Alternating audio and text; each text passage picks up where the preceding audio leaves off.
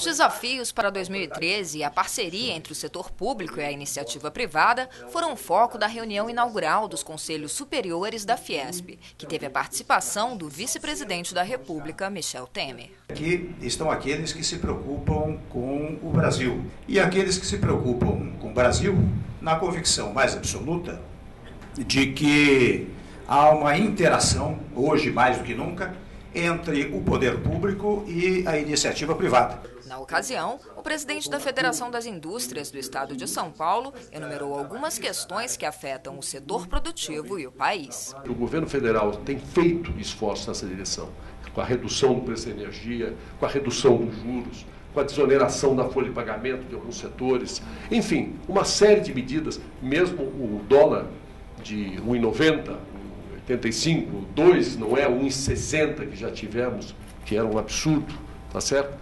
Mas tudo que foi feito ainda é pouco, é insuficiente para a recuperação da competitividade do Brasil. Nós temos muito ainda para caminhar, nós temos muito para fazer. E só é possível fazer com uma iniciativa privada atenta, vigilante e é, propositiva, como é esta da Fiesp. Na saída, o vice-presidente voltou a destacar a sinergia entre Fiesp e governo federal, a exemplo do que aconteceu com a queda no preço da conta de luz. A iniciativa privada é fundamental para o governo. Né? E o desenvolvimento do país se ancora muito na iniciativa privada e aqui no particular aos, nos estudos que a Fiesp tem feito e tem remetido para o governo.